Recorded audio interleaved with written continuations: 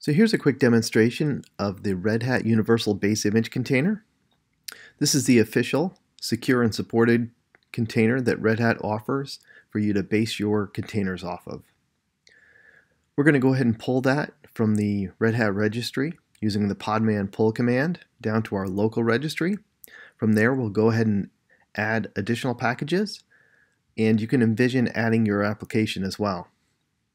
We're going to use the podman build command to build in those packages, and then we'll go ahead and run the container on Red Hat Enterprise Linux 8.1.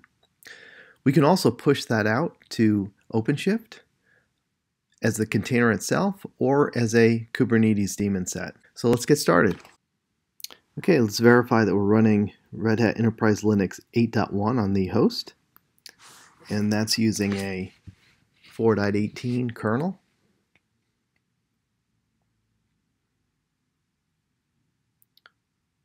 Okay, now let's verify that the local registry on that host is empty. Next, we can go ahead and pull down the Red Hat Universal Base Image Container, or UBI for short. There's different variations of the UBI image. This is the default image. There's also a minimal image available as well. Okay, we're connected to the container. Let's go ahead and add a package.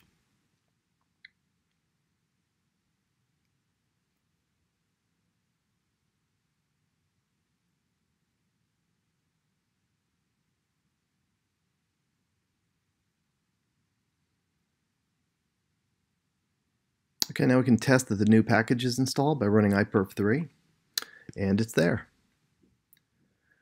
Now let's go ahead and add some additional packages from a file. So we've got a file created where we've got a few packages listed. Now we can go ahead and build the container with the podman build command.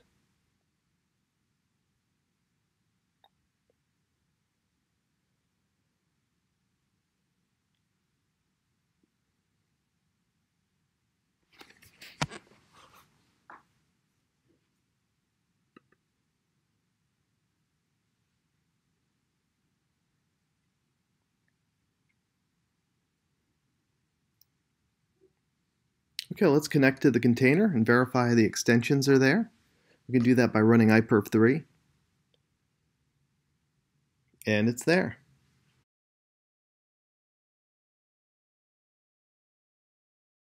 So that concludes this demo. Thanks for watching.